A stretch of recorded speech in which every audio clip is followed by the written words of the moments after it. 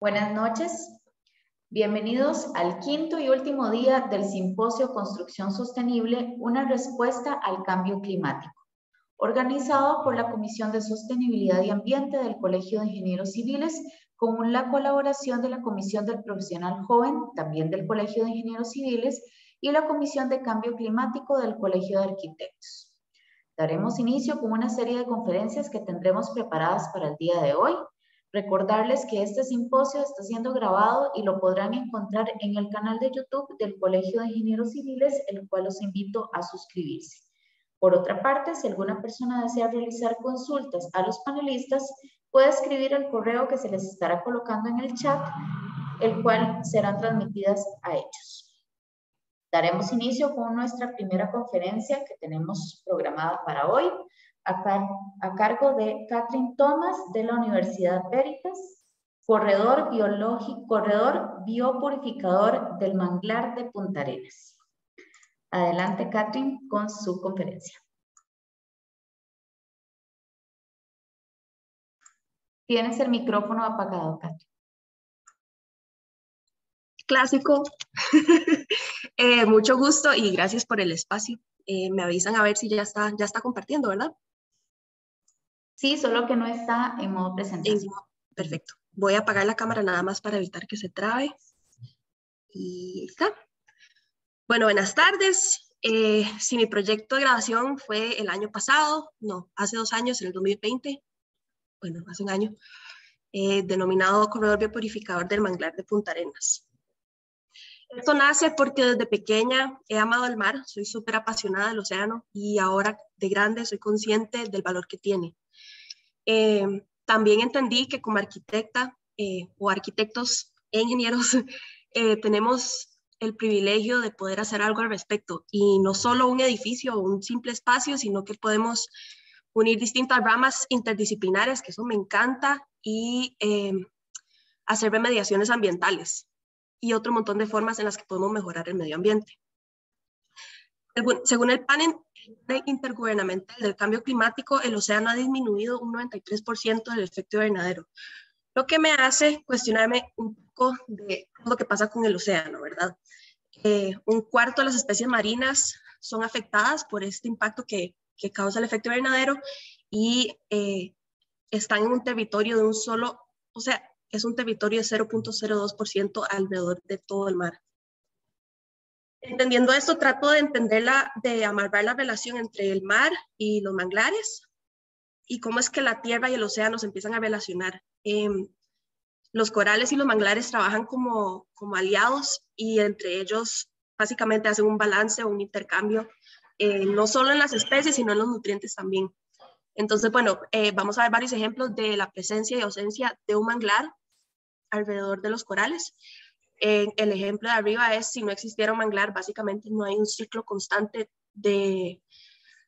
Los, las especies lo que hacen es que se van a los corales y ahí se reproducen y luego van a los manglares y ahí se almacenan y consiguen sus alimentos y básicamente buscan refugio. Por otro lado, eh, ellos dos trabajan como barrera natural, entonces eh, en, la primera, en el primer ejemplo podemos ver que con ausencia de manglar, básicamente las, los, los impactos desde el océano eh, por, desastres naturales pegan directo, entonces se ve como la erosión eh, causa efecto y como, bueno, si no, no existe un freno natural. Gracias a los manglares, ellos trabajan por intercambio y lo que hacen es que básicamente van disminuyendo este impacto de ondas. Este es un pescador tailandés que dice que sin, manglares el océano no tiene significado. Es un árbol sin raíces. Eh, los manglares son la raíz del mar y por eso empiezo a investigar un poco más sobre los manglares. No sé si saben, pero Costa Rica es demasiado afortunado y tiene demasiada variedad de manglares alrededor de, sí, de, todo, de todo Costa Rica. Básicamente estamos en el puro corazón. Eh, son ecosistemas súper ricos eh, y básicamente nivelan un montón de cosas. Entendiendo esto, hago un, zoom un poco más hacia, hacia, hacia los manglares que hay alrededor del Golfo de Nicoya y me encuentro con el manglar de Punta Arenas. Eh, según la FAO, somos el consumidor número uno a nivel mundial de agroquímicos con 51.2 kilogramos por hectárea y el que le sigue es eh, Colombia con 16 kilogramos, o sea, la diferencia es bastante y pueden ver el territorio Costa Rica versus Colombia. Entonces, bueno, los agroquímicos viajan por suelo, subsuelo y por partículas en el aire, lo que hace que sean medidas un poco inmesurables, ¿verdad? Em, hablando de un aspecto un poco más positivo, el manglar de Punta Arenas, 95% em, de las especies marinas dependen de él y se ha disminuido, pasó de medir 4 kilómetros a 400 metros de largo. Esto por, eh, bueno, por los agroquímicos, por la presión que generan, también por eh, asentamientos que han ido haciendo o eh, cultivos a lo largo de todo esto. Antes no era así. encontré este pueblo denominado Pitaya, tiene 1.822 habitantes y es un asentamiento precario eh, básicamente el recorrido principal de ellos es una calle que tienen aquí, entonces su, su, flujo de acceso principal es por el manglar. Esto es un poco de lo que ellos viven por, por la quema de la caña, le llaman la nieve negra, por la cantidad de, ceniza que pasa de vez en cuando muy fuerte. Eso es un poco de lo que pasa con la presión de los agroquímicos. Básicamente se, aquí, eh, si van, disminuyendo y afectando el manglar. Eh, hablando de pitaya, eh, según el INEC, por, por, por, casa ganan 61 mil colones al mes. Esto es una familia de cuatro personas, es bastante poco, pero ellos como familia son bastante unidos, como comunidad, perdón, y básicamente hacen estos mercaditos a donde se reúnen y tratan de apoyarse entre, entre todos. Viendo esto, se me genera la duda de que si puede un ecosistema de manglar y una comunidad humana conformar un entorno productivo responsable donde predomina el monocultivo de uso extensivo. Yendo un poco más hacia el contexto, esto es lo que hay justo en el medio de la comunidad y del manglar. Es un límite sucio, un límite difuso, eh, no, no, la, da miedo en realidad estar ahí, es un, lugar inhabitado. Entonces, bueno, eh, este límite inhabitado, la idea es generar un tejido entre estos dos polos opuestos que hay ahorita para que exista un límite difuso. Y esto va a ser por medio de eh, un sendero que tiene articuladores, que básicamente le van dando la cara al manglar y le abren un espacio a la comunidad para estar. El concepto que yo utilizo es el límite difuso. la idea es que exista este espacio donde, donde haya una relación entre manglar y la comunidad. Hablando de arquitectura específicamente, una de las pautas principales que tomé en cuenta fue la adaptabilidad del espacio, eh, la luz natural y la relación con el contexto. Cuando digo relación con contexto me refiero al respeto con el entorno. Este es un arquitecto eh, de un proyecto que utilicé de referencia que dice que mientras su forma se desvanece, la arquitectura va a continuar existiendo. Es como una nube. El límite entre el adentro y el afuera crece de forma ambigua. Estos son tres ejemplos que utilicé de referencia. Eh, Fundación Cartier, básicamente, él juega con, con, abrazar la naturaleza y la respeta y juega con ese adentro y afuera. El Serpentine Pavilion de So Fujimoto, como eh, juega con límites sin cerrar específicamente un lugar. Y el Orfanato de Ámsterdam, que básicamente aquí lo que hice fue utilizar las grillas y cómo es que él rompe con la ortogonalidad por medio de diagonales. Como fundamentos está el límite, la idea es habitarlo y esto va a ser por medio de llenos y vacíos y lo voy a atacar por medio de enmarcar la naturaleza con una modulación, que exista transparencia y ese juego de ausencia y presencia que he estado mencionando. Por otro lado, una de las amenazas más fuertes es el tratamiento de agua eh, por los agroquímicos y el montón de cloacas que se desechan al mar. Entonces, básicamente, uno de los ejes del proyecto es filtrar los agroquímicos. Esto es por medio de unas piscinas. Hay un ecólogo que se llama John Todd, que se ha dedicado toda la vida a estudiar estos procesos naturales de purificar agua. Entonces, bueno, estas son piscinas que tienen un proceso natural que básicamente terminan siendo eh, granjas para, para, los peces, es que son espacio para la comunidad. Algo así se ve en el proyecto. Eh, hay tres ejes en los que se enfoca este proyecto, que es la economía, la educación y la diversión. Eh, después de una entrevista que tuve con varias gente de, la comunidad, eh, bueno, ahí se entienden la carencia y deseo que hay para ciertas cosas, entonces la que este espacio les devuelva calidad de vida. Aquí se ve un poco cómo, cómo funciona cada uno, entonces el económico son puntos específicos, el, el, educativo son también otros puntos dentro del módulo y la diversión, la idea es que sea una ciclovía y que, que, el espacio se adapte a las necesidades.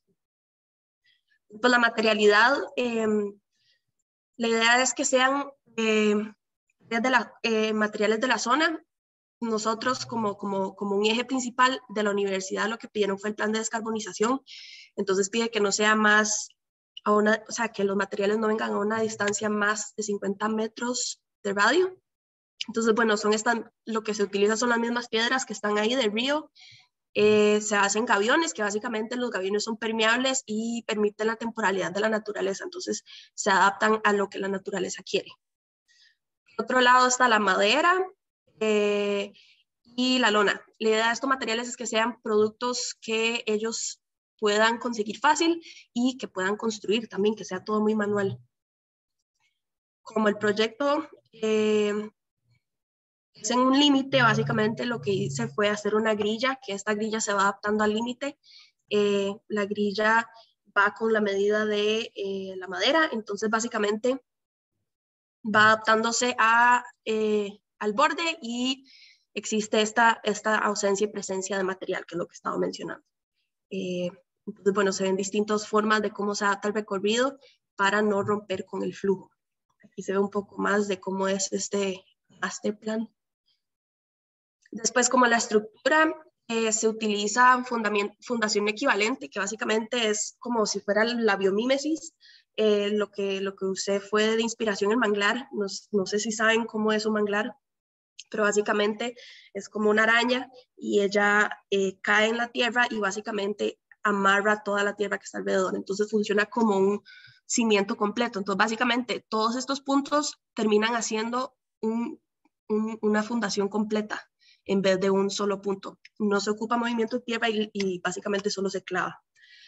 Por otro lado, eh, está este amortiguador, que es el, perímetro de cada módulo. Y estos son gaviones que se sientan sobre la tierra y la cubierta es una lona colgante que básicamente se amarra con un mecate. Aquí se ve un poco mejor el concepto de cómo es la estructura. Básicamente, esto que estamos viendo aquí es el amortiguador, así le denomino, que es esta primera capa, que básicamente es el amortiguador eh, de clima ambiental y después adentro está el programa. Esto es una sección del muro. Básicamente el mecate entra al gavión, eh, lo prensa y cuelga. Aquí en el centro está la canoa, es una caída libre y aquí se ve también cómo es que cae el agua y drena. Por otro lado, se tomó en cuenta todo el tema de la carta solar, entonces cómo, cómo afecta la ausencia del, los, del amortiguador o el buffer que, había mencionado, que son los gaviones, eh, son esenciales para este módulo. Y aquí un poco del análisis de radiación también. Esto es un poco también como del concepto. Ahí se ve como los buffers, el amortiguador aparece al final y termina siendo como un módulo completo. Básicamente, esto es un poco del proyecto. Eh, ahí se ve ya más aterrizado al manglar, esta es la planta, entonces esta es la calle principal, aquí se va el manglar, eh, ahí está la, aquí arriba está la comunidad y son distintos módulos. Eh, esta es la entrada o el acceso principal y este es el acceso desde el manglar. No tienen nada, básicamente es una cuesta, es, es un poco compleja la entrada. Y aquí están los distintos módulos, entonces, eh, bueno, ahí pueden ver, es un eh, sí, bueno, ahí está el, punto de servicio, que son los baños, hay un taller, está el mercado, que el mercado la idea es que sea un espacio de adaptabilidad, entonces funciona como capacitaciones también. Luego está el restaurante, otro punto de servicios o baños y un punto de glamping. Y aquí hay un poco de los vendors. Este es el, el módulo 1, el, el mercado o el punto de capacitaciones. Aquí están los baños, eh, aquí empieza el recorrido básicamente del sendero. Esto es un poco del cerramiento que hay dentro de cada módulo. Eh, como pueden ver, la idea es que se adapte a la necesidad del espacio. Entonces, bueno, eh, es bastante abierto con el fin de que puedan eh, extender el uso y jugar con ese límite difuso, ¿verdad? Esto desde el módulo. Aquí hay una sección, ahí pueden ver cómo se ve la fundación equivalente. De nuevo, para esto no se ocupa movimiento tierra, básicamente se clava. Aquí otro ejemplo. Este es el taller. Este es el punto de servicio. El restaurante con eh, los ecotanques aquí atrás, que son los tratamientos de agua. Eh, la idea es que aquí de la terracita uno pueda pescar. Este es el glamping. Eh, puse dos ecotanques, la idea es que estuviera uno de cada lado donde están las quebradas más fuertes, como para limpiar lo que se pueda de los agroquímicos. Ese es el acceso principal. La idea es que fuera algo lúdico, monumental, que parezca que ha sido, estado ahí siempre, que a la vez funcione como atractor turístico, ¿verdad? Por, por el espacio, eh, promoviendo el turismo, porque Punta Arenas, no sé si saben, pero creo que es de los puntos más fuertes de turismo para pajarear. Este es parte del recorrido, entonces ahí está la señalización y, cómo va alrededor de todo el sendero, un poco de la temporalidad del espacio cómo pueden utilizar los gaviones también. La idea es que se hicieran puntos de contemplar, entonces uno puede venir aquí atrás y sentarse a ver. Em, este es el acceso a otra parte del sendero. De nuevo, espacios donde se pueden, la comunidad puede adaptarse y utilizar el, los gaviones para distintas cosas. Em, y ya para ir cerrando, em, la idea es que este espacio de entornos productivos responsables, la conexión que existe de, desde el manglar hacia la comunidad es que exista conciencia y valor y que este proyecto sea la barrera protectora para el impacto negativo que está causando eh, desde la comunidad hacia el manglar. Y para cerrar, em, quería decir esta frase de John Todd que dice, es posible crear en el paisaje una sucesión de actividades humanas y económicas que reflejen las ecológicas. Muchas gracias. Muchísimas gracias a Catherine Thomas por su conferencia. Continuamos con el programa. Nuestro siguiente panelista se llama Ronald Alberto Jiménez Guzmán, de la Escuela de Ingeniería Civil de la Universidad Fidelitas. Y su conferencia tiene como nombre Control de la escorrentía superficial como medida de adaptación al cambio climático, Cantón de Curriabat, Distrito Guayabos, Microcuenca Quebrada Sopilote. Adelante, don Ronald, con su conferencia.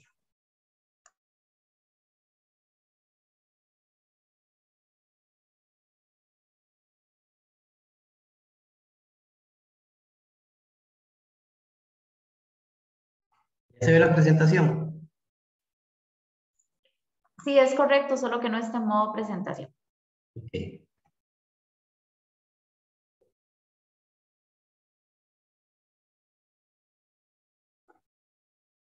Ahora sí. Sí, es correcto.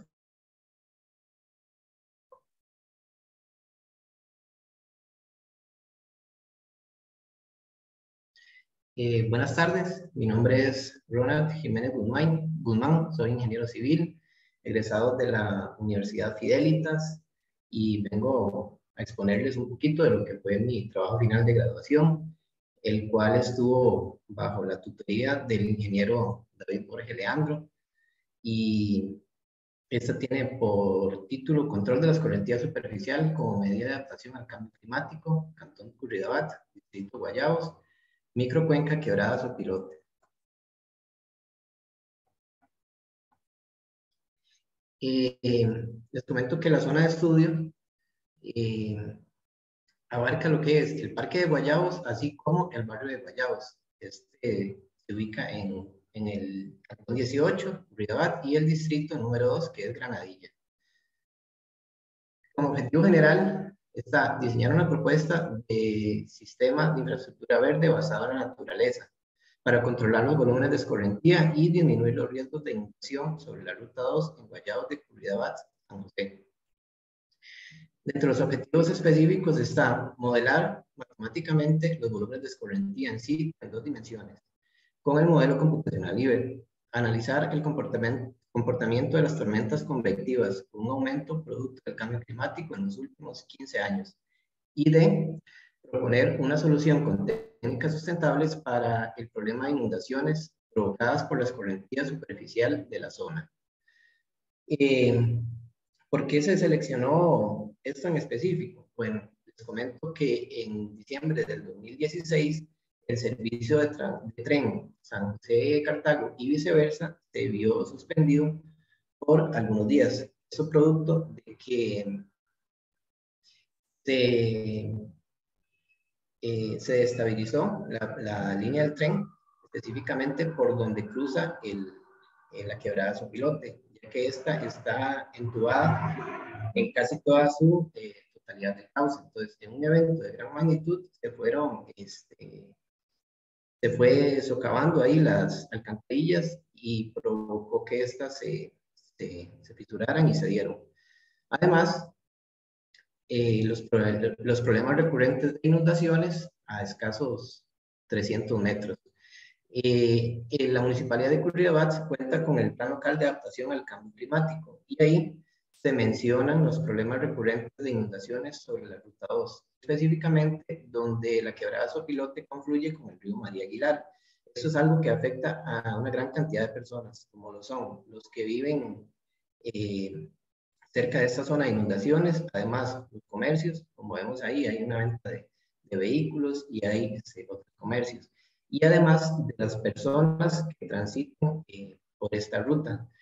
Para, para, ver un poquito el, el, la magnitud, comento que el transporte promedio diario anual que, circula frente al cementerio de San Pedro, que está aproximadamente a dos kilómetros, es de 56 mil vehículos, mientras que si nos vamos a, a, unos kilómetros arriba, cerca del Terramol, eh, por ahí el transporte promedio diario anual es de 58 mil vehículos. Entonces, bueno, no toda esta cantidad de vehículos pasa específicamente por esta ruta, pero sí una parte eh, un gran número de esta, de esta cantidad.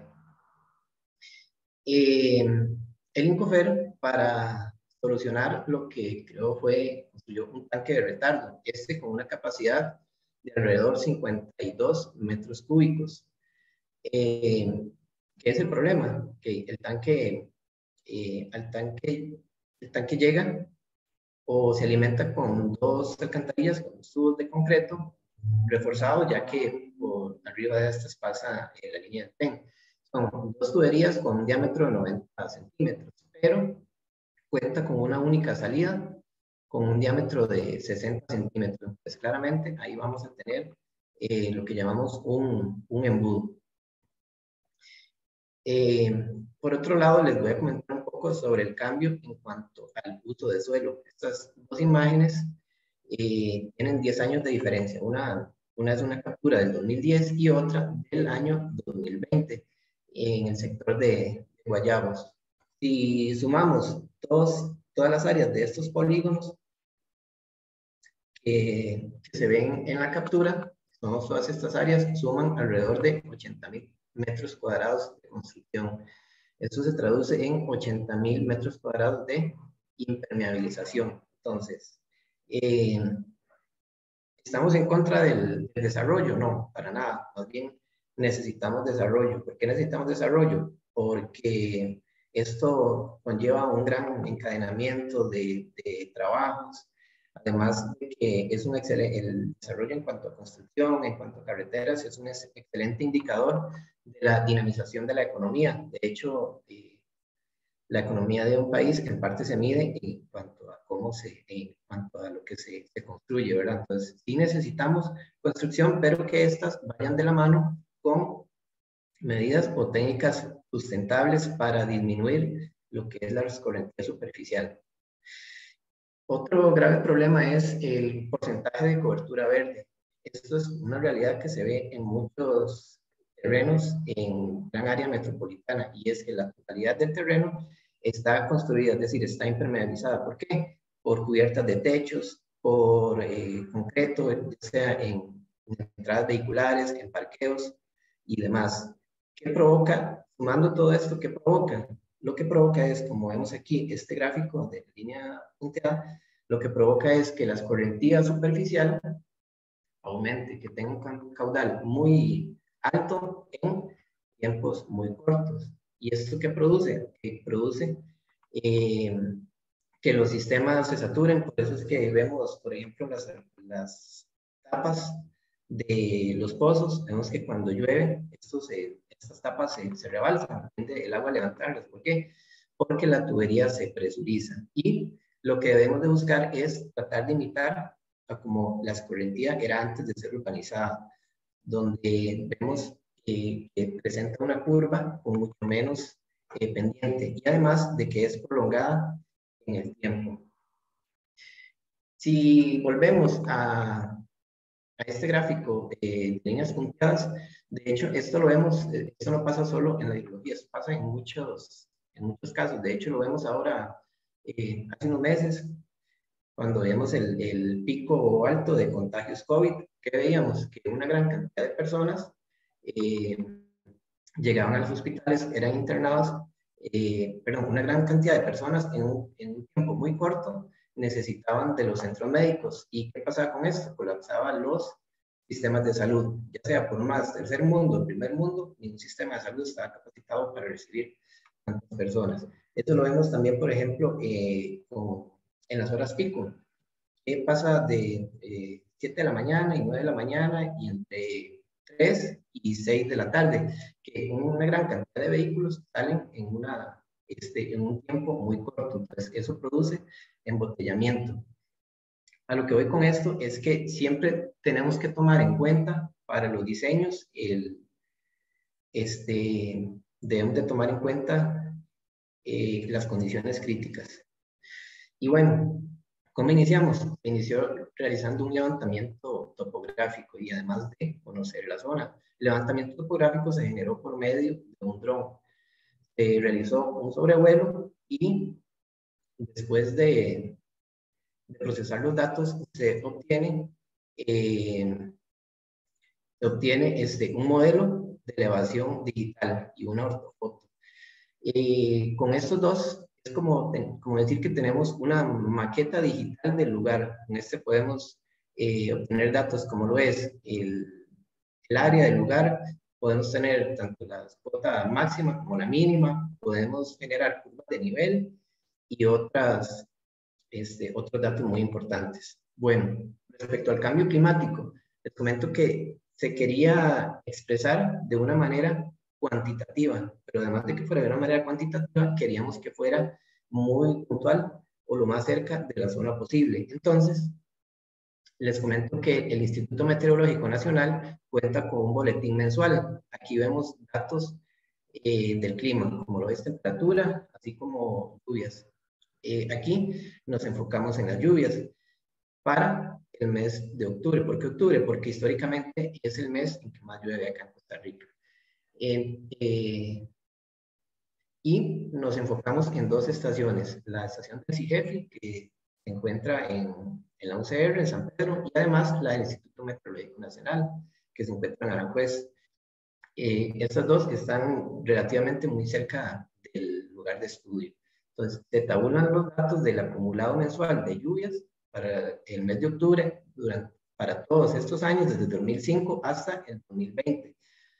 Se ponen los datos y se genera una línea de tendencia. Entonces, esto nos da eh, o podemos interpretarlo de, de varias maneras. Aquí lo que vemos es que hay un, a como, pasan los años, vemos un incremento en el acumulado mensual, donde en el 2005 aproximadamente, en promedio, habían, eh, caían 250 milímetros de lluvia, al, ahora en el 2020 ese valor fue de alrededor este, de 330 milímetros de lluvia, entonces hay un aumento.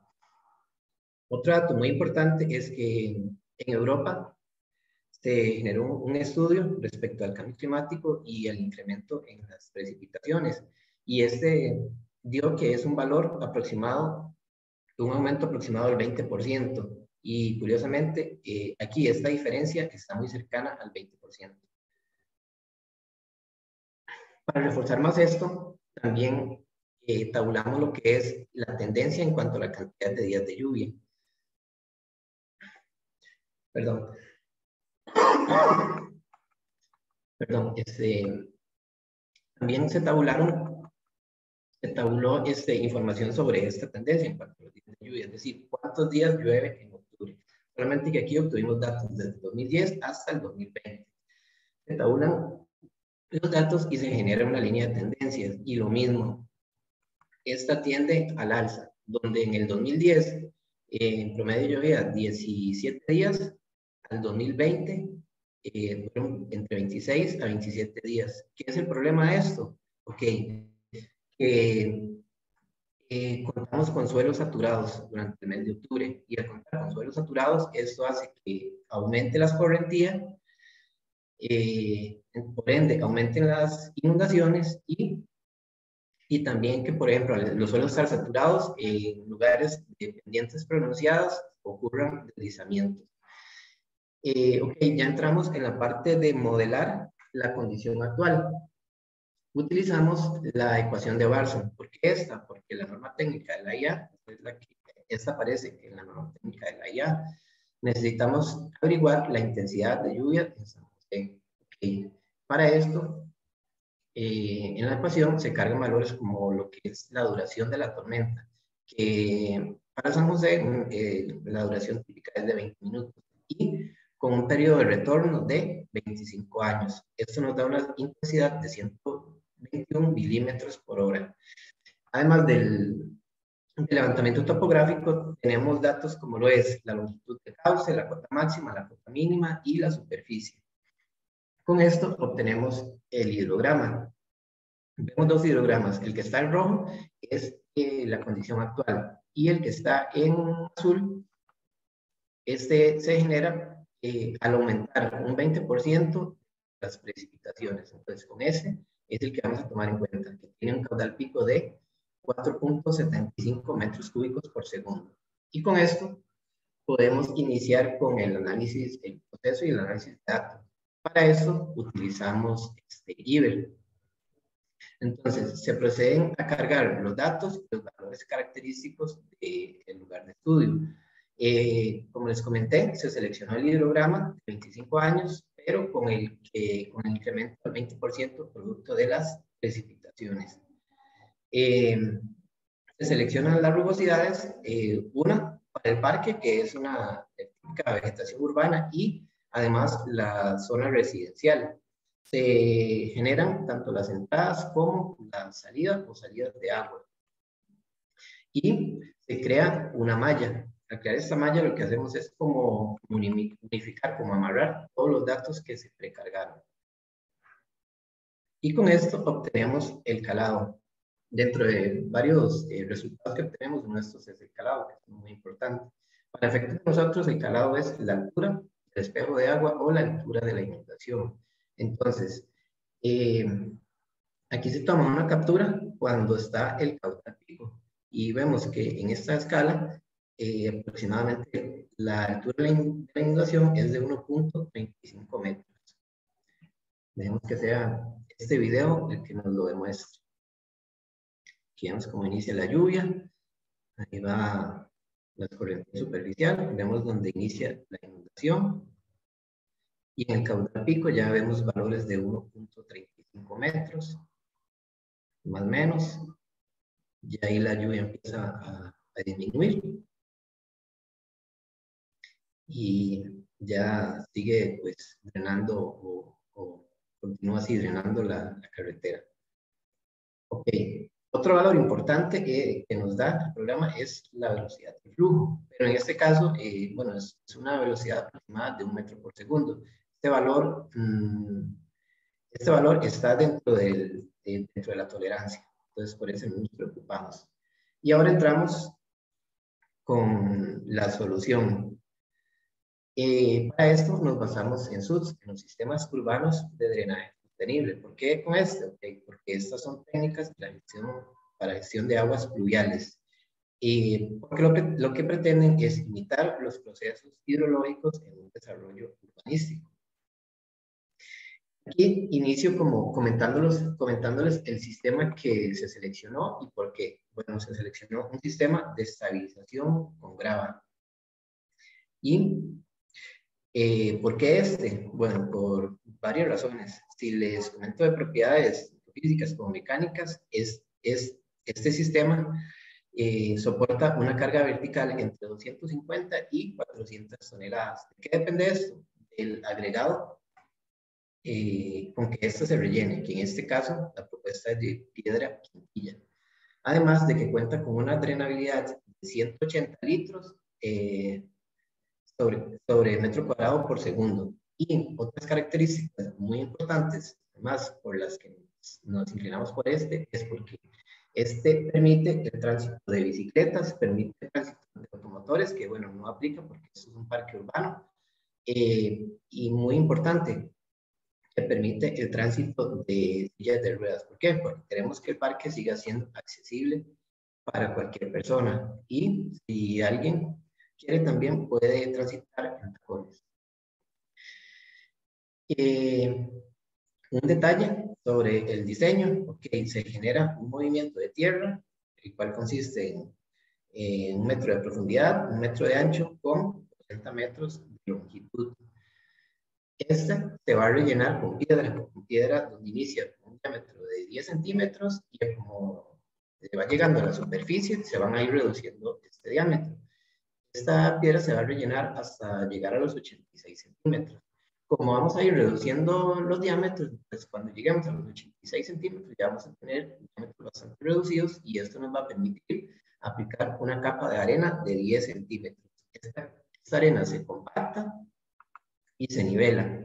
Entonces, después de nivelado ya podemos extender el sistema de estabilización con grava, el cual es este, una malla donde está compuesta por hexágonos y este, como les comenté, se rellena con, piedra quintilla, se extiende y listo. Así queda.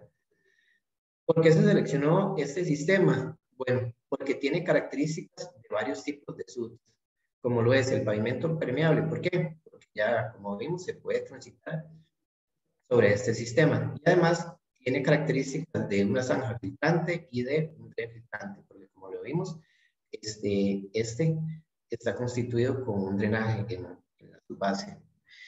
Eh, además, otro dato importante es que como lo rellenamos con piedra, este va a tener un 30% de vacíos. Por lo tanto, también va a contener eh, un 30% del volumen de la zanja, va a contener eh, agua. Entonces, quiere decir de que, de que esa zanja va a contener 24 metros cúbicos de agua. Y bueno, ¿cómo modelamos esto?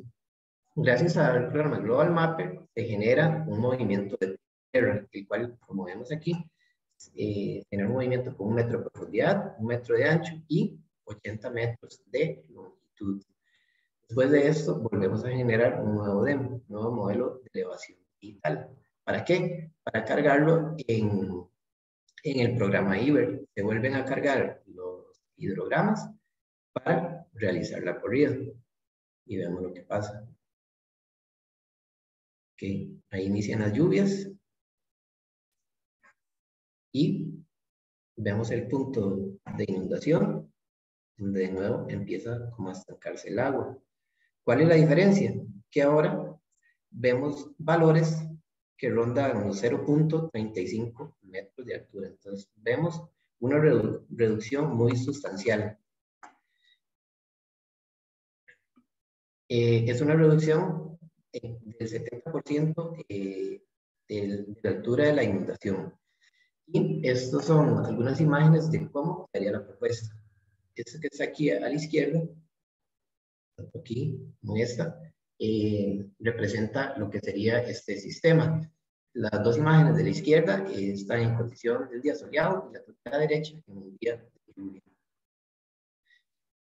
les comento que la Organización de las Naciones Unidas generó 17 objetivos para el desarrollo sostenible. Es muy importante que cuando realicemos un diseño en el área que sea, eh, tomar en cuenta, ojalá, eh, que nuestro diseño contenga algunos de estos objetivos.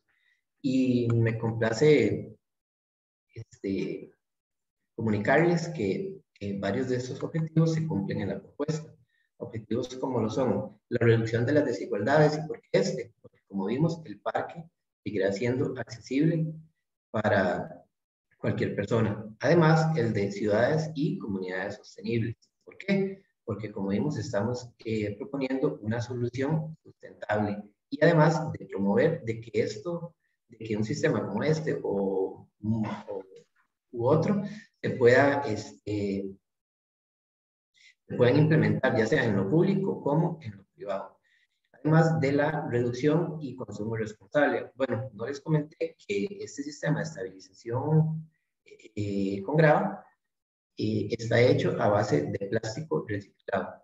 Y el, el, objetivo 3 y 15 están muy relacionados, que es acción por el clima y vida de ecosistemas terrestres. ¿Por qué estos? Okay, porque al, al hacer este sistema vamos a contribuir con la infiltración. Entonces, reducimos la isla de calor y aumentamos eh, lo que es recargar los mantos acuíferos. Bueno, como conclusiones, se logró modelar hidrodinámicamente el lugar de estudio. Además, se obtienen valores como el calado, la velocidad y la dirección del flujo para los escenarios planteados. Fueron de gran ayuda los sistemas de información geográfica, así como el modelado eh, de dos dimensiones con IBER 2.4.3 los sistemas de información geográfica y modelos matemáticos como IBER son poderosas herramientas que nos facilitan la interpretación de la topografía de un lugar, así como el modelado de tormentas. Los UTS ayudan a reducir tanto los volúmenes de escorrentía como los caudales pico, que se generan en las, perdón, que se generan en las ciudades de alta densidad urbana, además de contribuir con el paisajismo del lugar. Después de modelada, la propuesta SUTS no se llegó a cumplir con el objetivo de diseño, ya que con la propuesta A aún se seguirían dando inundaciones en el lugar. Mas no quiere decir que la propuesta no dio resultados, ya que se logró reducir el calado en un 70%. Y por último, con el diseño propuesto se logra satisfacer líneas de acción que se proponen en el plan local de adaptación al cambio climático, específicamente las de aumentar las zonas peatonales del cantón, gestionar construcción en espacios públicos que se adapten al cambio climático, además de implementar infraestructura para la prevención de riesgos de inundación. Y aquí concluyo. concluyo. Muchas gracias.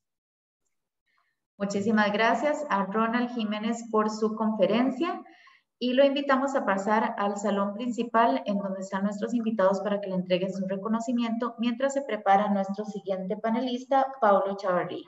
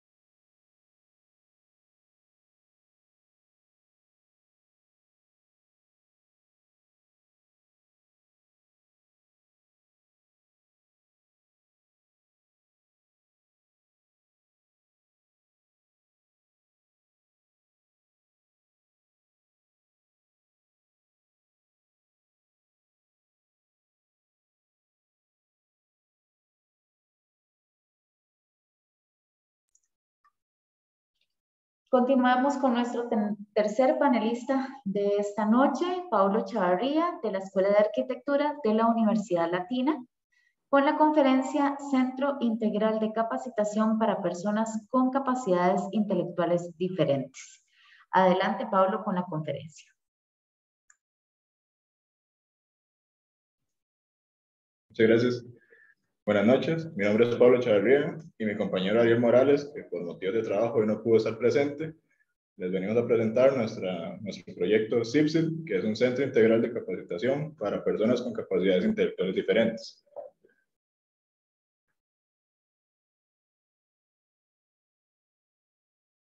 Okay. La situación actual en Costa Rica. En una entrevista de la periodista Liliana Carranza, le preguntó al ministro de Presidencia, Marcelo Prieto, ¿cree usted que el gobierno tiene un problema de comunicación y si es algo que planea mejorar? A lo cual él respondió, yo no siento que sea así, yo siento que hay un cierto autismo en algunos sectores del país. Sabiendo esto, podemos tomar con certeza de que si ni un ministro, que es algo de un rango alto en el país, no conoce o no sabe bien del tema que está hablando, ¿qué podemos esperar de las otras personas, verdad? Entonces, las justificantes del proyecto, tenemos que hay una nueva existencia de centros de capacitación, una arquitectura no apta, una discontinuidad educativa, hay expectativas laborales y faltas de oportunidades. A esto, ¿cuáles son los tipos de discapacidad que hay? Hay tres tipos, está la física, sensorial y cognitiva. En nuestro proyecto nosotros tomamos la cognitiva para realizarlo. En total hay un 18.2% de discapacitados en Costa Rica y de ese 18 hay 35.416 con discapacidad cognitiva. ¿Qué vamos a generar? Vamos a generar una, constante comunicación, autonomía y destrezas sociales para el usuario. ¿Cómo vamos a hacer esto? Con la accesibilidad, aplicando la norma, la normativa 7600, de una manera segura, confortable y autónoma. También vamos a aplicar un diseño universal, el cual tiene que ser un diseño integrador y equipamiento urbano accesible, ya que todo lugar debería ser accesible para todo el mundo.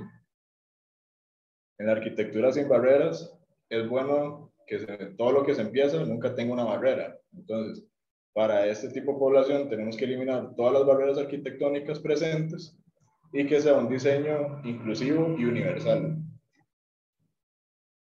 En la percepción del espacio sensorial vamos a utilizar el color como orientador por el medio del sentido que se van a orientar la identidad y memoria y la inseguridad e integración.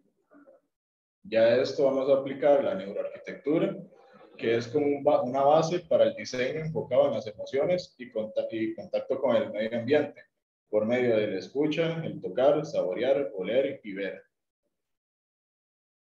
Pasando al análisis de sitio, nosotros no teníamos un lote predestinado para este tipo de proyecto, ni las empresas, eh, ni las instituciones encargadas tenían un lote destinado. Entonces, nosotros tuvimos que proponer uno hacer una interconexión de puntos, que fue lo que nos llevó al, al punto base, que es San José. Como no hay un, un, algo activo ahorita, tenemos que proponer que va a ser en el casco central y de ahí podría ser de dispersarse a otros sectores del país. Por lo cual tomamos de base los centros de cuidado de, de, de estas personas, las escuelas de enseñanza especial, entre otros aspectos.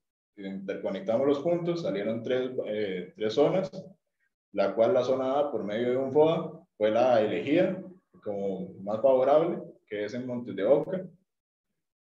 Y de ahí sacamos nueve lotes, del cual hicimos otro FOA más extenso para poder ver cuál era el lote que más convenía en para este tipo de población, el cual fue el lote 3, que está ubicado en Montes de atrás del colegio de, el, del Calasanz.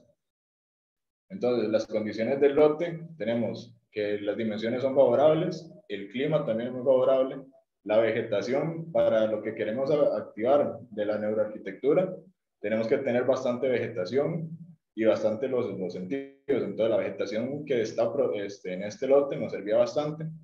La topografía del lote era casi plana, que era un plus. Los, el usuario, que lo que queremos hacer es una inclusión educativa e inclusión social, entonces como son estudiantes en este sector, nos, sirve, nos servía bastante Los accesos, tenemos que hay acceso vehicular, peatonal y todo cumple con las 7600 en su mayoría de las partes de, de San José. Y el transporte que se puede llegar por tren, bus y taxi. Y la, la inclusión de instituciones educativas, aparte de que cuenta con todos los servicios básicos. Pasando a otra parte del análisis de sitio, tenemos el análisis de mantos acuíferos y aguas superficiales, que era parte fundamental para poder lograr este proyecto, ya que en el lote hay dos yurros y teníamos que tomarlos en cuenta por la normativa vigente. Entonces, sacando de que ese lote está limpio de, de mantos acuíferos o que no tienen asientes en sí en el lote, podemos este, construir en ese, en ese sector.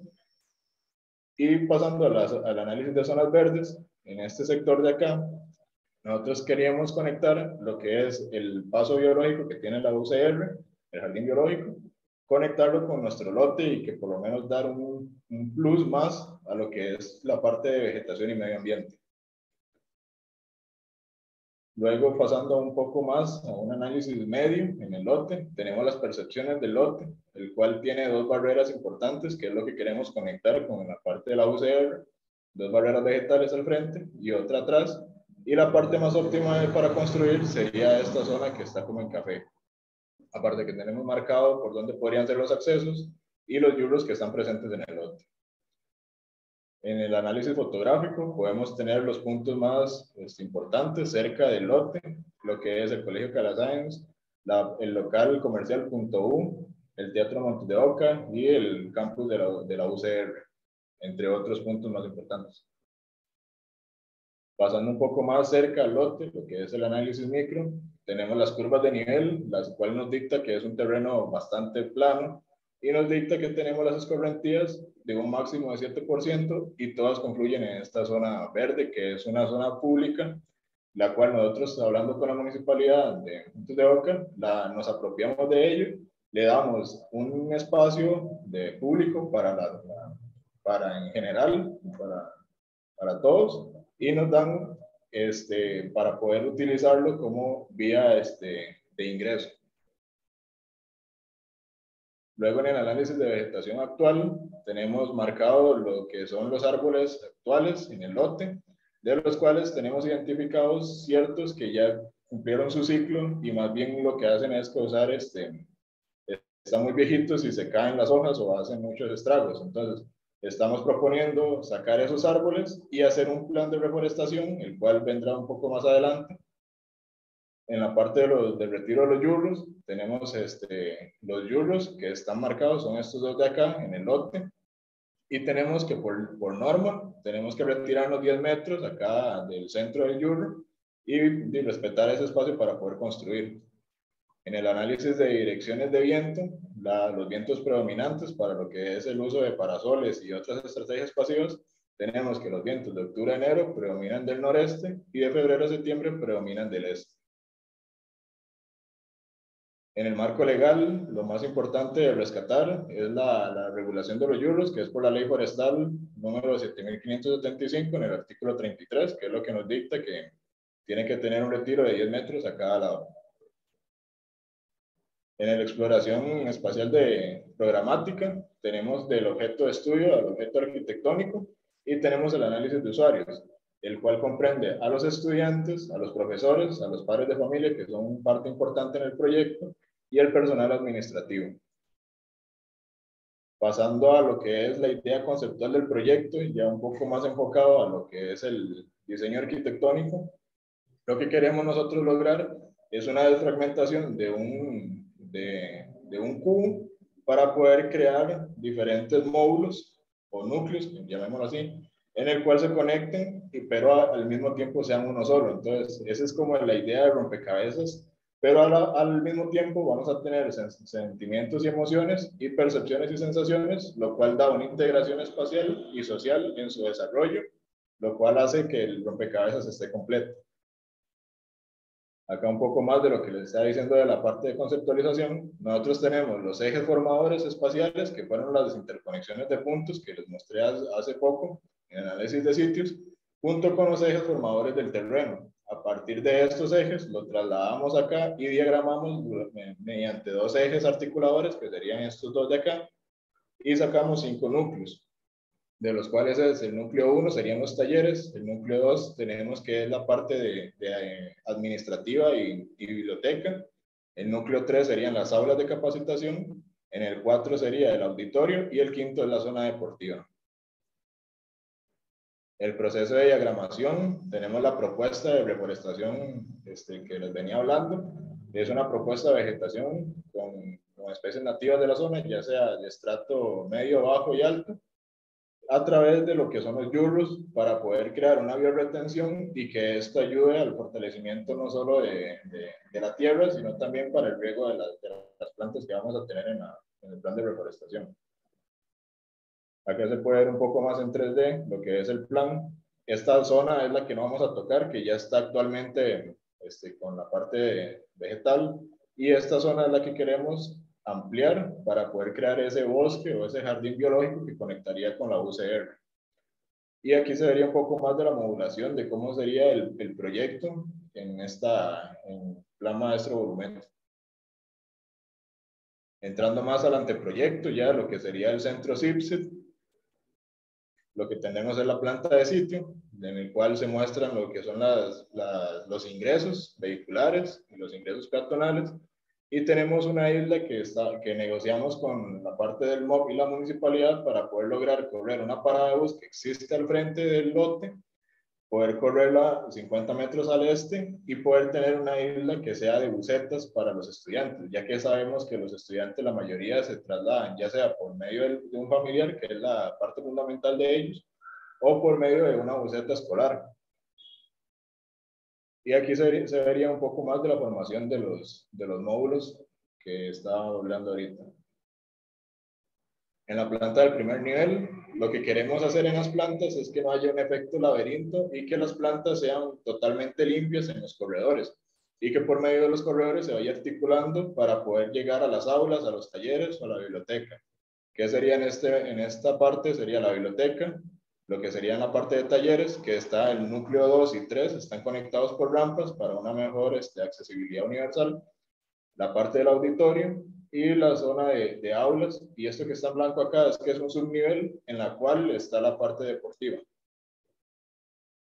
En la planta del segundo nivel queríamos replantear lo mismo, que fuera el, sin efecto laberinto, que fuera totalmente limpio los espacios y que fuera lo más, este, lo más accesible posible.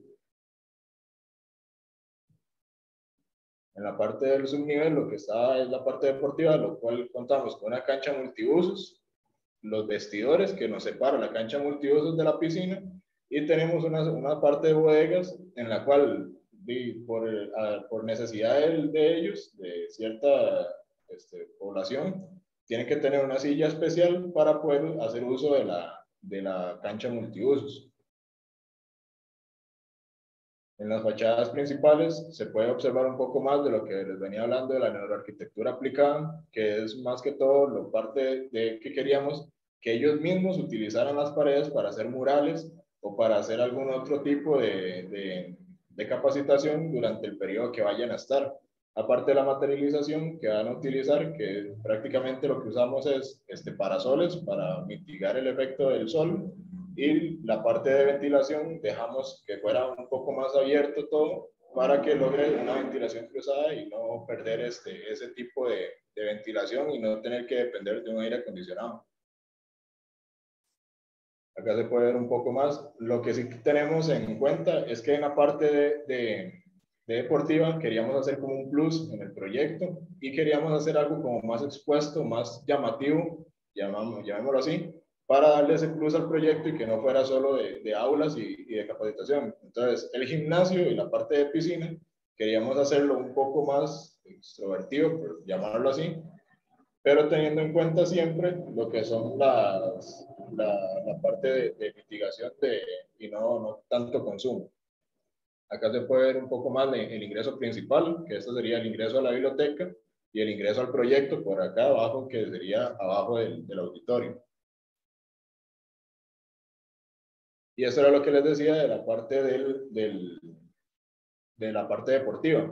Lo que queríamos era que fuera un poco más este, exvelto, que se vieran las, las, los materiales constructivos, que lo que sería es más que todo sería la parte de metal, y uso de maderas para otros acabados y, y para tener también rejillas de ventilación, lo cual nos va a permitir un mejor uso y, y para mayor ventilación en esta zona que son las más calientes que se pueden tener, ¿verdad?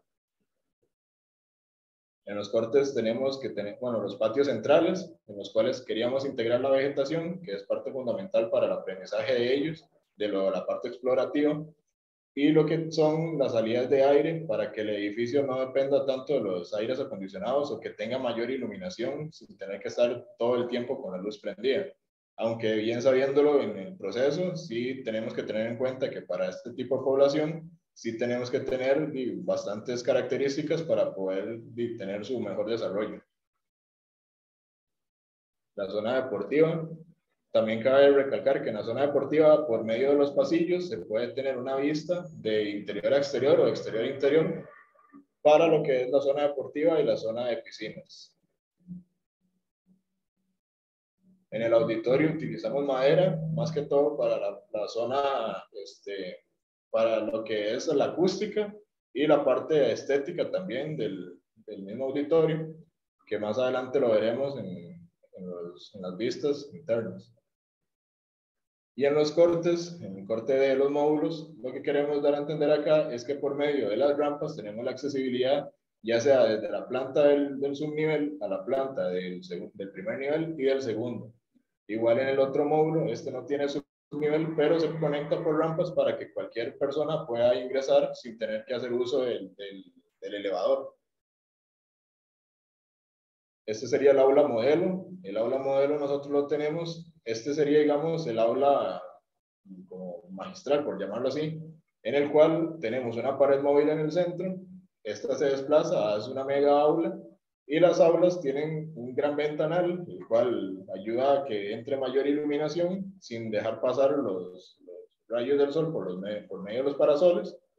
Y tenemos que también cada aula va a estar este, dividida o, o, más bien este, identificada por colores, lo cual hace que un, un, una persona se guíe mucho más fácil, aparte que ten, tenemos el lenguaje este, inclusivo y también rotulaciones por todo el proyecto. Esa sería la sección del aula. Tenemos la ventilación cruzada con los estudios del clima. Y eso era lo que les hablaba de la bioretención. Nosotros tenemos los dos yurros, queremos utilizar la bioretención para ayudar a esto que no se falseen, los, los, que no se haga como un lodo en esta parte del, del proyecto, que sería parte del ingreso y lo que queremos es utilizar ese plan de reforestación para ayudar al mismo suelo a, a que no se haga tan lodoso en ese, en ese sentido. En los cortes bioclimáticos podemos ver la ventilación cruzada en la parte de las aulas, que comprende este mismo funcionamiento en todo el proyecto. Igual en el corte de la, de la parte del, de la zona deportiva, tenemos la ventilación cruzada y por medio de las aberturas podemos ir sacando el aire caliente hacia arriba sin tener que utilizar otro medio de, de para poder sacar el, el, aire. Igual tenemos el uso de parasoles para reflectar el sol. Y un poco de lo que son las vistas en el proyecto. Este sería el ingreso principal, lo que sería la bioretención y el ingreso hacia la parte de, de, de, del ingreso principal del edificio y la parte de biblioteca. Luego tenemos otro, el ingreso peatonal, llegando por la isla. En este, en este render podemos apreciar más lo que es el, el, el arte, digamos, para, la, para una mejor estética del proyecto y que sería, digamos, estos los espacios destinados para la población que vaya a hacer los, los murales. En este caso nosotros escogimos esta imagen, pero ese mural se puede ir cambiando como que si fuera una pizarra poco más del ingreso. Este sería el ingreso por medio del, del, parqueo. Se ingresa por abajo del auditorio, el cual lo tomamos como que si fuera un portal hacia el, el edificio. La zona deportiva por fuera sería más que todo eh, materiales expuestos para lograr ese acabado de que se vea algo más que, que solo concreto, ¿verdad?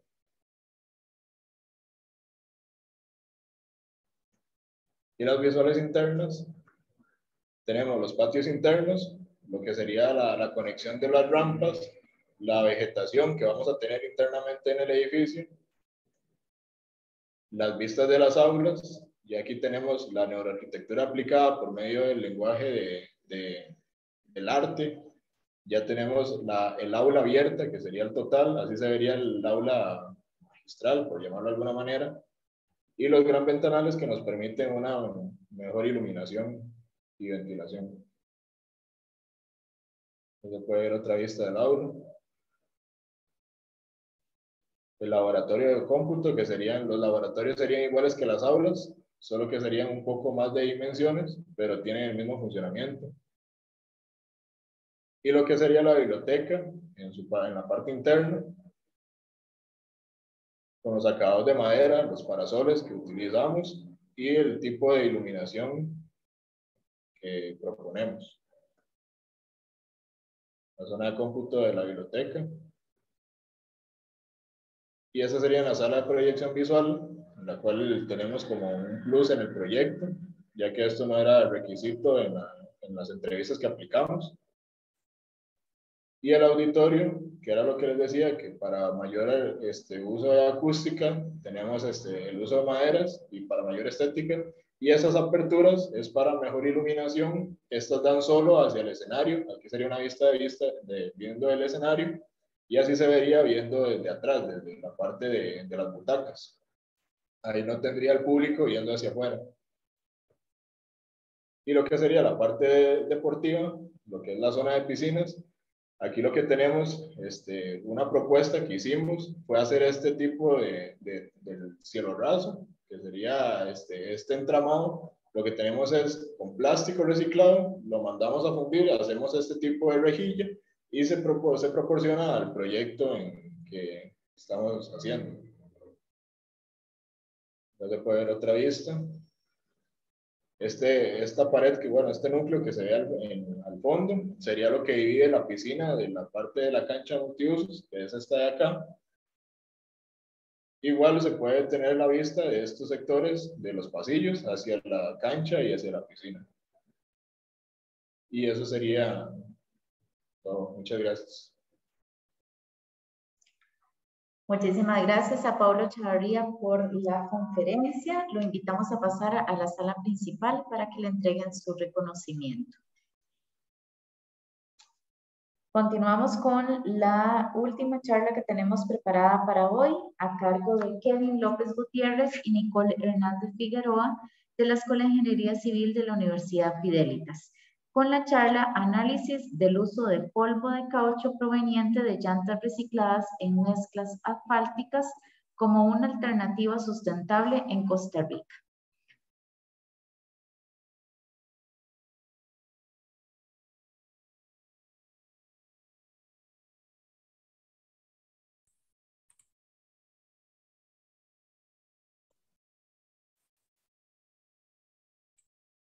Buenas noches. Bueno, mi compañero Kevin López Gutiérrez y mi persona Nicole Hernández vamos a presentarles nuestro trabajo final de graduación llamado Análisis del uso de polvo de caucho proveniente de llantas recicladas en mezclas asfálticas como una alternativa sustentable en Costa Rica.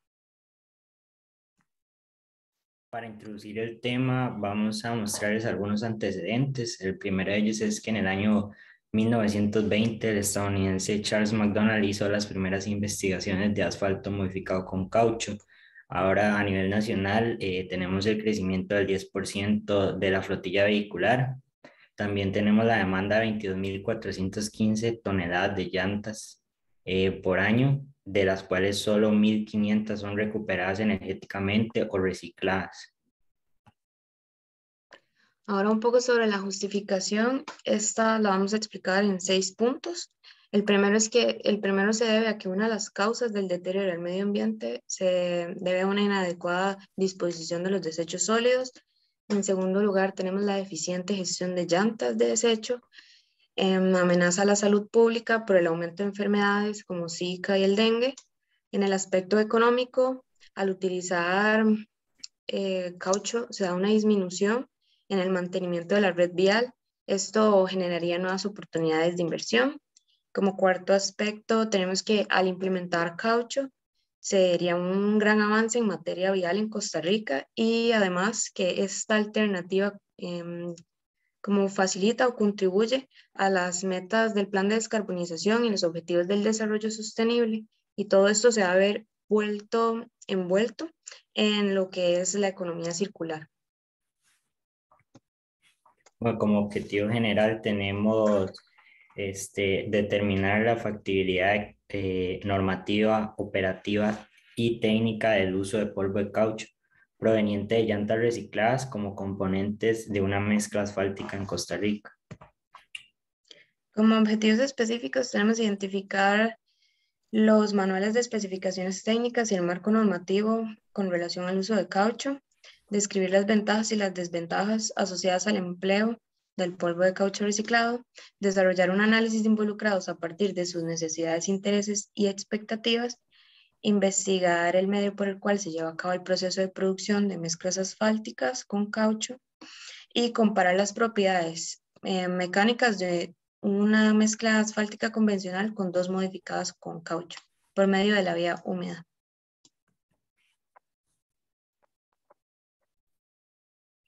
Ahora, bueno, esto lo vamos a hacer por medio de cuatro estudios. El primer estudio es el de marco normativo y específicamente en la legislación nacional. Estos fueron los instrumentos que nosotros encontramos, de los cuales vamos a destacar únicamente dos, que sería el reglamento sobre llantas de desecho, que es único en Centroamérica.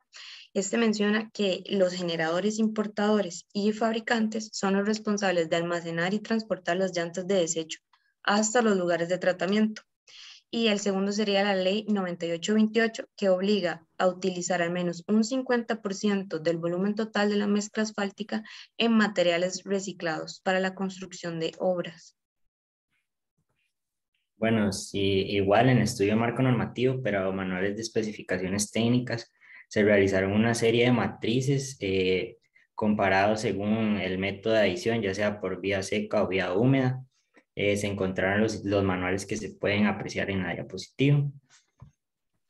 Entre los parámetros más relevantes encontrados es que para el caucho reciclado la humedad debe estar por debajo del 0,75% y el contenido de fibras por debajo de un 0,5%, ambas según la masa del asfalto. Para el proceso por vía húmeda, la cantidad de caucho debe estar de un 8% a un 22%, según el ligante asfáltico. Eh, hay un aumento en el porcentaje de asfalto óptimo. La granulometría normalmente es de tipo abierto. La interacción de asfalto-caucho debe ser mayor a 45 minutos y el grano de caucho debe ser menor o igual a tamiz número 8. Para vía seca, la cantidad de caucho es de un 1% a un 3% y el grano de caucho es mayor de mayor tamaño en comparación con vía húmeda. Ahora en el segundo estudio, que sería el técnico teórico, este se consta de 44 ventajas. En este gráfico se puede apreciar en la distribución que, en la que lo hicimos, serían económicas, ambientales, técnicas y otras. Y en las siguientes diapositivas vamos a destacar las principales de cada, de cada aspecto.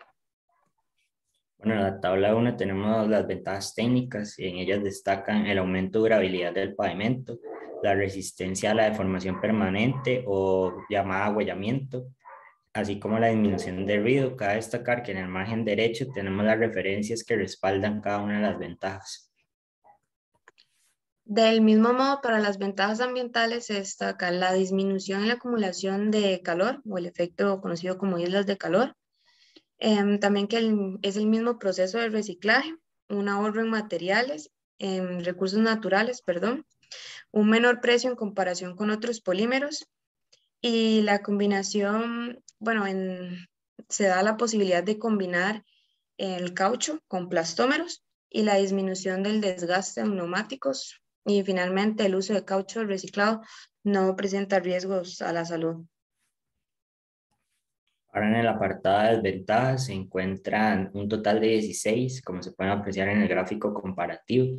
Entre ellas destacan la dificultad en la trabajabilidad, eh, el límite de tiempo de almacenaje y problemas en la separación, los problemas en la compactación y por último las escasas fuentes de caucho que hay en el país. Ahora bien, para el estudio de mercado, específicamente el análisis de involucrados, se decide realizar una matriz de poder-interés, la cual ayuda a proporcionar estrategias de participación según eh, el involucrado en la ubicación del plano. Además, se decidió realizar un mapa de actores que represente las relaciones entre cada uno de los involucrados en la tabla 4 se puede apreciar la simbología. Ahora bien, de manera de ejemplo, este, tenemos la relación que existe entre el Ministerio de Salud y la empresa Multiservicios Ecológicos. Esta presenta signos de tensión y conflictos de interés, ya que el Ministerio de Salud, por medio del cumplimiento de la recuperación de residuos sólidos, establece que las empresas proponen su propia meta, y esto afecta de manera directa a multiservicios ecológicos, ya que limita su fuente principal de materia prima. Ahora, en cuanto al apartado de análisis de gráficos, la encuesta fue enviada a las municipalidades en 88 cantones y consejos distritales en total, de las cuales solo el 26,14%, es decir, 23 municipalidades respondieron a la encuesta.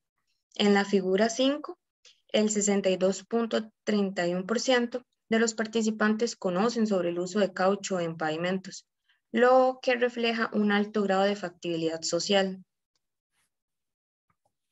Bueno, la figura 6, denominada finalidad de llantas en desuso, eh, se tiene que las respuestas que más mencionaron son los gestores autorizados, eh, también tenemos los centros de acopio y los proveedores. En la figura número 7, el 95.2% de los involucrados afirmaron estar de acuerdo con la propuesta y finalmente en la 8 se le preguntó a las instituciones públicas y privadas sobre el nivel de aceptación en formar parte de esta cadena de suministros y solamente Recope presentó inconvenientes con la colaboración debido a que presenta un alto grado de burocracia. Bueno, con la información recopilada anteriormente, se decidió realizar una matriz de estrategias de participación. A manera de ejemplo, tomamos el grupo de gobiernos locales ubicados en Alajuela. Eh, entre sus intereses tienen fortalecer la alianza con multiservicios ecológicos, tienen también usar de inmediatamente el caucho reciclado en pavimentos. Entre sus problemas están que la mayoría de municipalidades con el presupuesto actual no consideran rentable la gestión y algunas de las municipalidades no pueden gestionar el transporte. Y proponemos estrategias de participación tales como crear un canal de comunicación entre las municipalidades de Alajuela y multiservicios ecológicos y elaborar programas de recolección entre ambos involucrados. Ahora bien, en esta matriz este, es una matriz de análisis de estrategias DAFOCAM y a manera de ejemplo, en el cuadro superior izquierdo tenemos la estrategia ofensiva llamada maximizar el aprovechamiento de residuos por medio de las leyes vigentes y los objetivos de la economía circular. Y esta estrategia va a estar aplicada a la fortaleza número 5 y a la oportunidad número 2. Bueno, para el apartado de estudio mercado, eh, específicamente en el análisis del proceso, se utiliza la herramienta denominada ANSI. Este diagrama inicia desde la importación de llantas para el comercio en Costa Rica y finaliza hasta la colocación de mezclas asfálticas modificadas en nuestras vías. En la tabla 7 podemos apreciar la simbología del diagrama que utilizamos. La manera de ejemplo tenemos el primer sector de todo el diagrama. Eh, tenemos la actividad número uno que se llama importar las llantas para el comercio en Costa Rica.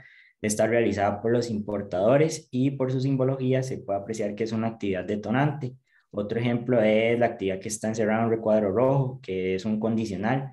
Nos plantea que si existe un acuerdo con multiservicios ecológicos, en caso de responder que sí, se pasa a la actividad número cuatro, en caso de ser negativa la respuesta, se tiene que dirigir a observaciones, las cuales estipulan que se debe buscar un acercamiento que permita futuros acuerdos.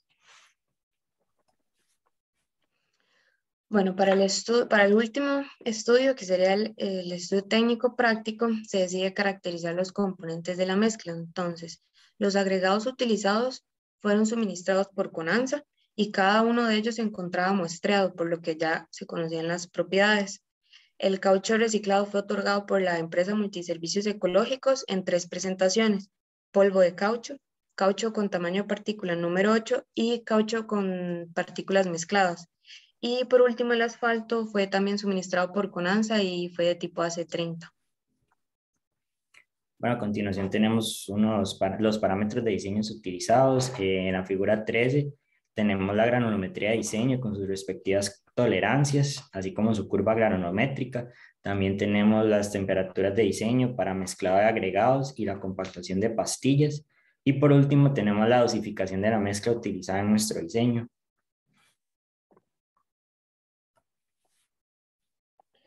Ahora bien, en cuanto al procedimiento que realizamos, lo hicimos de acuerdo con la norma INTE y comenzamos por el cuarteo, luego pasamos por el bacheo, luego se hizo, eh, luego los agregados fueron secados y en la fase de mezclado asfalto-caucho, el calentador de asfalto se encontraba a una temperatura máxima de servicio de 163 grados.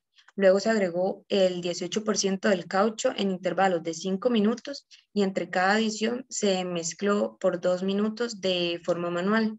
Luego se incorporó el asfalto, se mezclaron todos los componentes, se homogenizó y cuarteó, luego se, se compactó y se desmoldaron las pastillas.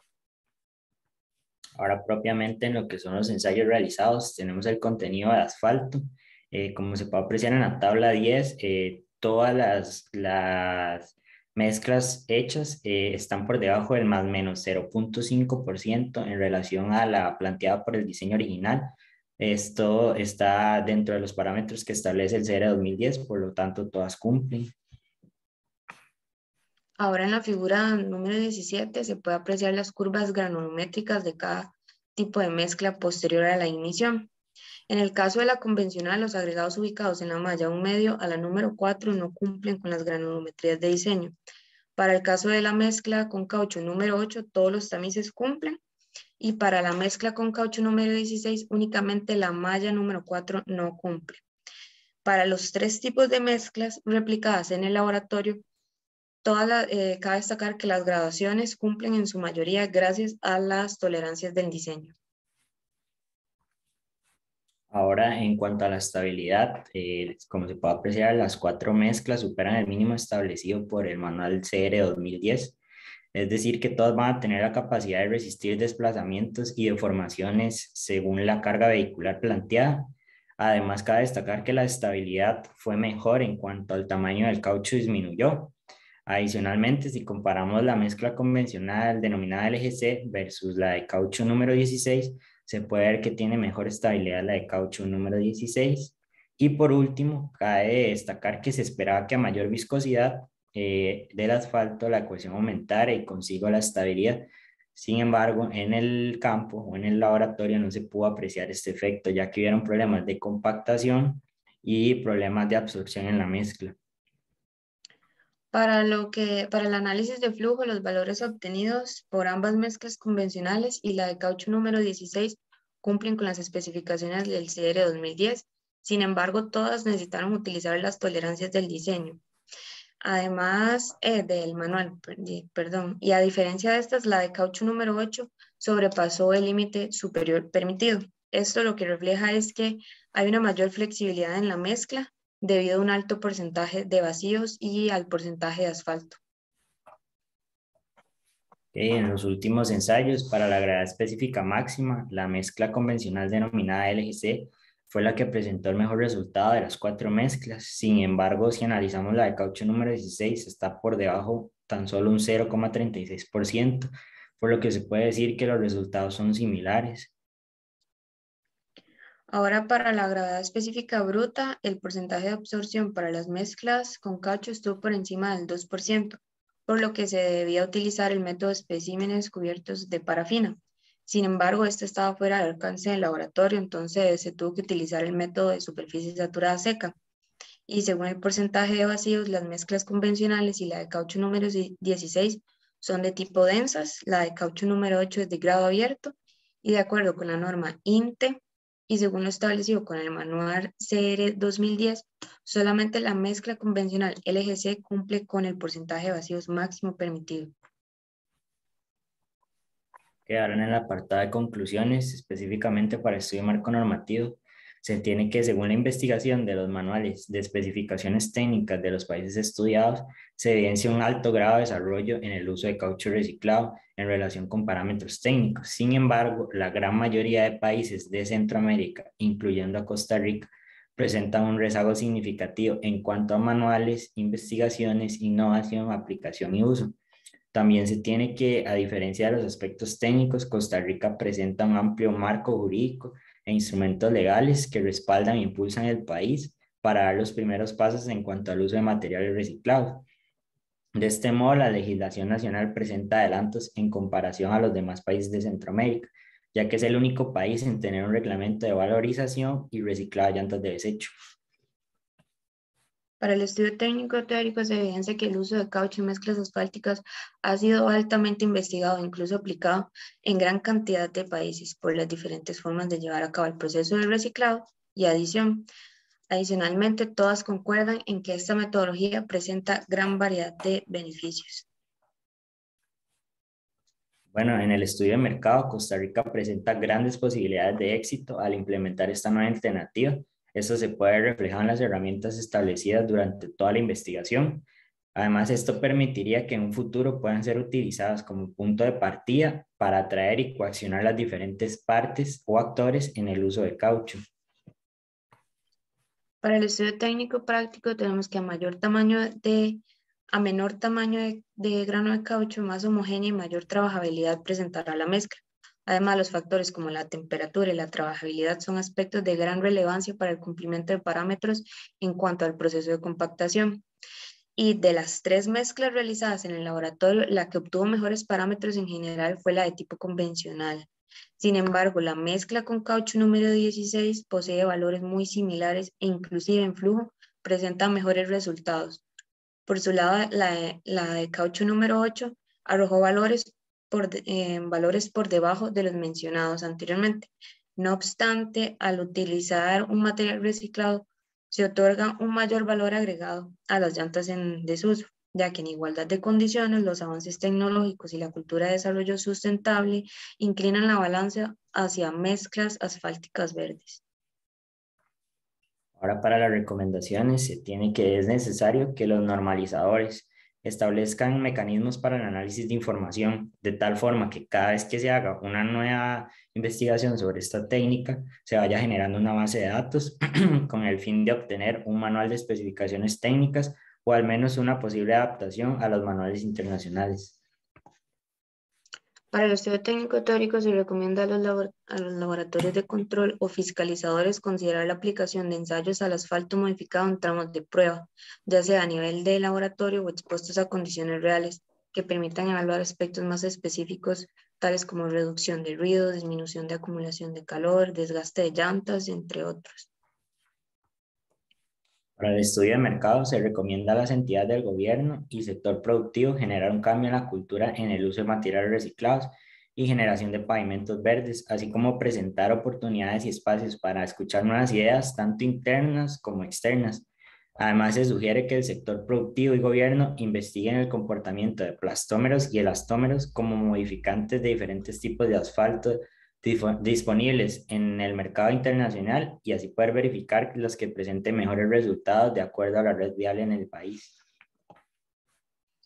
Y para el estudio técnico práctico se recomienda a las actuales y futuras empresas procesadoras de caucho que realicen mejores técnicas para la eliminación de metales, textiles y humedad, así como ofrecer tamaños de partículas de menor tamaño y se sugiere a la comunidad estudiantil realizar futuras investigaciones que comparen, que comparen las propiedades físico-mecánicas de las mezclas asfálticas con caucho obtenidas en planta y en laboratorio. Muchas gracias.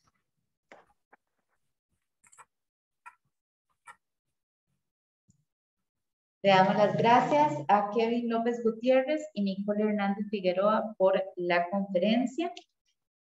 Esta era la última conferencia que teníamos programada para el día de hoy. Ahora damos paso a la clausura y a la ingeniera Silvia Howard, representante de la Comisión de Sostenibilidad y Ambiente del Colegio de Ingenieros Civiles, la cual dará unas palabras.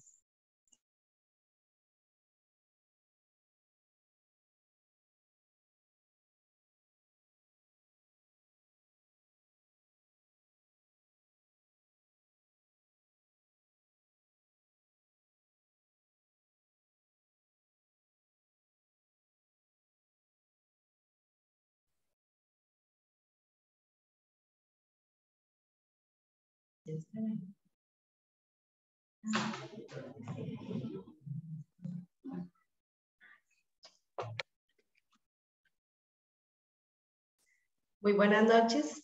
Damos ya por cierre este segundo evento del simposio. El año pasado fue la primera experiencia y esperamos seguirlo haciendo anualmente.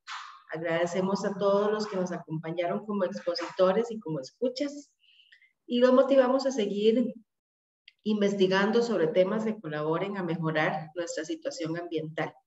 Si Dios lo permite, el año entrante, primera semana de diciembre, estaremos celebrando nuestro tercer simposio a nivel de, del medio ambiente. Muchas gracias a todos por acompañarnos y desde ahora, muy feliz Navidad. Buenas noches.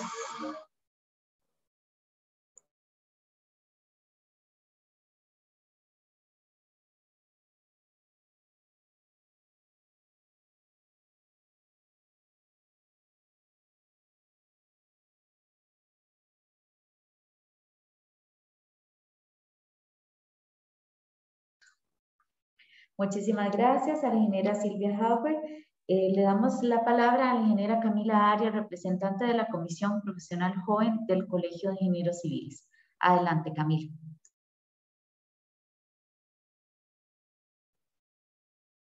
Bueno, buenas noches. Primeramente, quiero agradecer a la Comisión de Sostenibilidad por la invitación.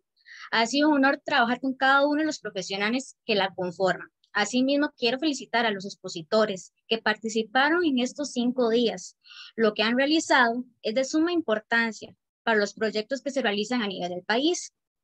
Con esos trabajos se demuestra la importancia en los temas ambientales y cómo todas las carreras pueden unificar o se pueden unificar para garantizar la sostenibilidad que tiene que ver con la parte tanto social, económica y ambiental. Por último, aprovecho este espacio para incentivar a las universidades que sigan participando con la finalidad que los profesionales jóvenes crezcan a nivel profesional y así puedan optar por unas nuevas ideas a nivel, a nivel del país.